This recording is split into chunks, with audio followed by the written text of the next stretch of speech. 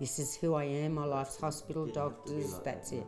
It's not going to get any better. Then this program come along into my life and it's, I've got something to look at. I didn't have any light. There was no light, it was all dark.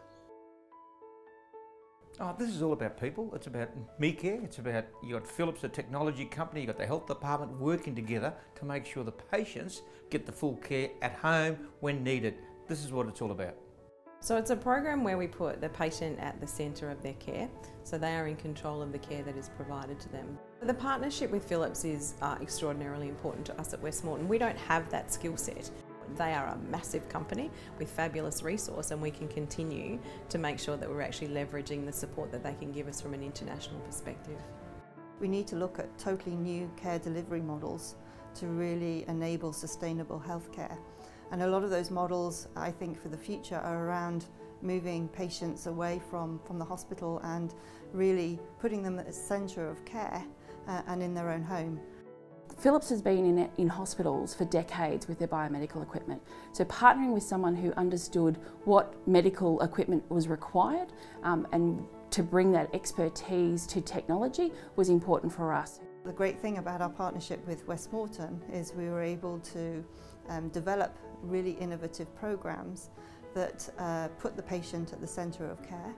To have MeCare where they're monitored more closely than what we can otherwise do.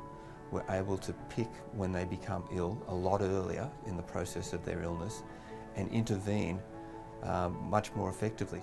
Well, if we can be successful with the MeCare program, it shows we can change the nature of the way healthcare is delivered. It enables us to provide care to many rural and remote settings around Australia. Philips had made it very easy to use. It was like, oh. And it turned on, It was like, this is brilliant, I know how to use this.